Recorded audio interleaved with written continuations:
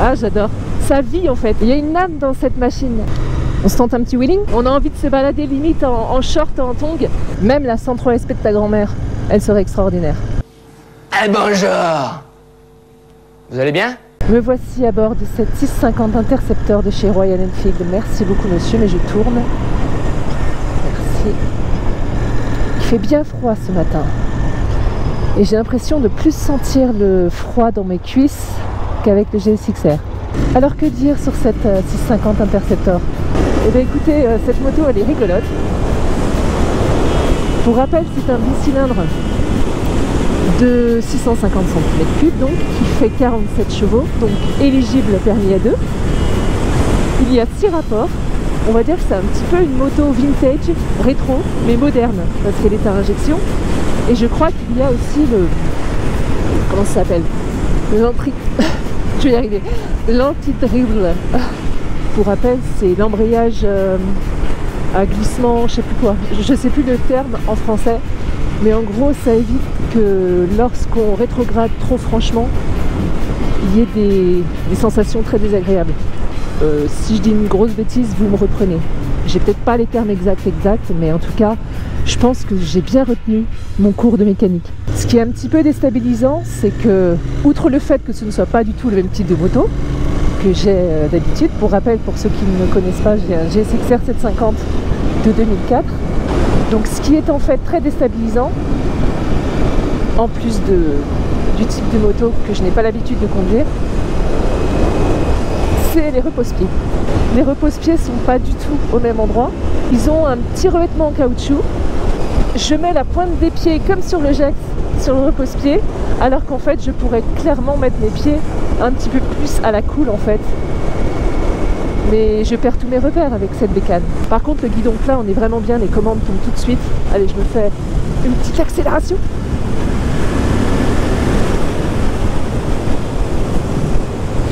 Allez, on tente. Oui, large. Le tableau de bord est vraiment très très succinct. Il y a juste un petit bouton central.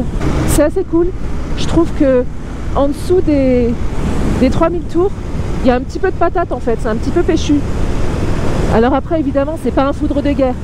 Donc on va pas lui demander d'aller souiller avec des potes euh, euh, qui sont eux en sportive ou même qui ont une moto euh, peut-être de la même catégorie.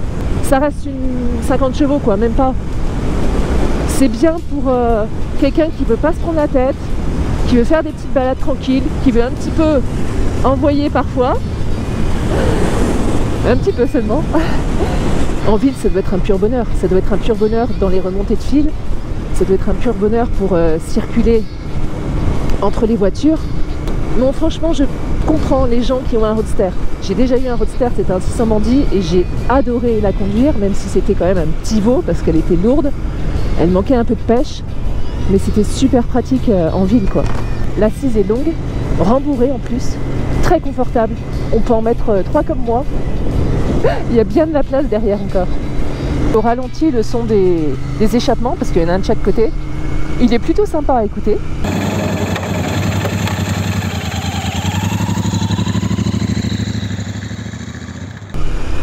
Le passage des vitesses, comme vous le voyez, aucun problème à les passer à la volée en montée. En descente, je ne le fais pas. Je ne maîtrise pas. Mais en montée, oui, ça y est, je maîtrise. Ça fait déjà plusieurs mois maintenant.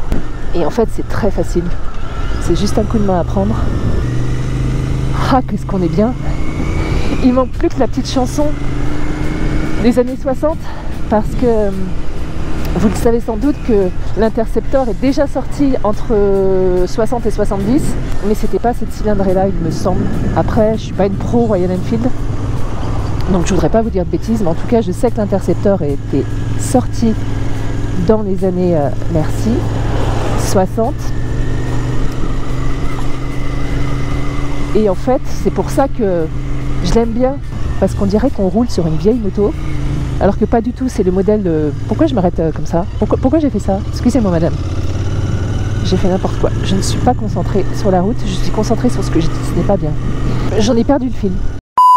J'aime beaucoup tout ce qui est old school, donc j'aime beaucoup cette moto. Elle est très agréable. Même esthétiquement parlant, je trouve qu'elle est jolie à regarder. Elle a des petites parties chromées un petit peu partout. Le bouchon de réservoir. Les rétroviseurs, euh, comment dirais-je, euh, les carters aussi de chaque côté. Les carters sont polis, ainsi que le haut du moteur. Elle fait environ 200 kg, un petit peu plus de 200 kg. Bon, la grosse gaine qui ressort, c'est pas extraordinaire.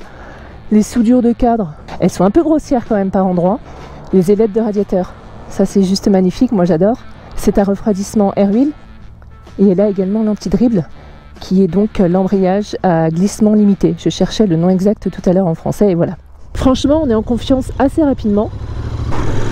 Quand j'accélère, ça culbute partout sous mes fesses. C'est excellent. Merci. Ça vit en fait, c'est vivant. Il y a une âme dans cette machine, alors qu'elle est 2020. La conception moteur fait qu'elle vibre un petit peu quand on monte un peu dans les tours. Et, euh, et c'est pas désagréable. Mais il n'empêche que je préfère mon GSXR. Ça n'a rien à voir, c'est incomparable. Je crois qu'elle ne dépassera pas le 180. Il me semble qu'elle atteint ses limites autour de 160-170. Ça vibre un petit peu de partout. On a envie de se balader limite en, short en tongue, en longeant euh, la côte méditerranéenne ou la côte atlantique, ça dépend d'où vous êtes. Vous choisissez euh, l'endroit que vous préférez. Le freinage avant, c'est un freinage avec simple disque double piston. Je pense que ça suffit pour ce genre de machine, mais il y a quand même un petit peu plus de 200 kg à freiner. Donc euh, je pense que le frein arrière est de rigueur à certains moments. Sur les derniers modèles, parce que je rappelle c'est un 2020, 2020 il me semble, il y a le phare à LED à l'avant. Quand j'ai été la chercher, j'avais les bottes de piste. Donc c'est vraiment pas l'idéal avec ce genre de bécane. J'étais pas à l'aise parce que j'avais beaucoup de mal à passer les vitesses parce que la botte est quand même assez large, assez grosse. Et euh, j'ai changé, j'ai mis des bottes simples, hein, pas des bottes moto. Ben, je vous le conseille pas d'avoir euh, ce genre de, de, chaussures avec des lacets parce qu'en fait mon lacet s'est pris dans le petit dans le petit téton là. Et pour la petite anecdote, sa sœur, on peut dire ça comme ça, la Continental GT, elles ont le même moteur et le même cadre, mais par contre euh, la Continental GT est plus, euh, stylée café racer. Donc avec euh, des bracelets qui sont assez hauts, il me semble, mais la position est pas la même, on est plus en avant évidemment, et c'est une monoplace, même s'il y a option d'avoir biplace. C'est une moto qui reste simple dans sa conception, mais qui selon moi est une valeur sûre dans sa gamme. Et pour les amoureux de ce genre, je pense que c'est l'idéal. Il y en a d'autres bien sûr, elle a des concurrentes. Euh, il doit y avoir euh, chez Triumph, chez Ducati ou encore chez Moto Guzzi. On se tente un petit wheeling? Non, je rigole. J'aimerais bien savoir faire, mais il faut de l'entraînement pour ça. Et là, je m'adresse à quelqu'un qui, je suis sûre, me regarde. Lui, il la lèverait sans problème. La moto, je parle. oh putain car n'importe quelle moto se lève avec lui.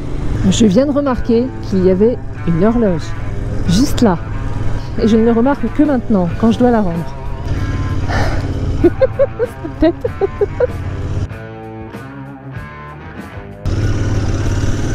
C'est un plaisir par contre à rouler en termes de maniabilité. Oula, alors attends, toi je vais te passer devant, ça te dérange pas? Avec le GSXR, je m'y suis fait depuis des années. Mais il est vrai qu'un guidon droit, c'est quand même vachement mieux pour manœuvrer à petite vitesse. Le rayon de braquage, il est énorme comparé au G6R qui est un rayon de braquage de camion.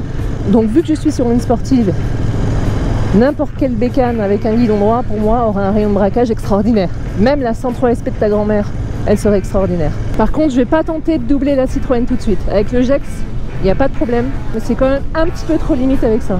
Surtout que ce n'est pas la mienne, il faut que je la rende. Donc on va la rendre sans aucune rayure, si possible.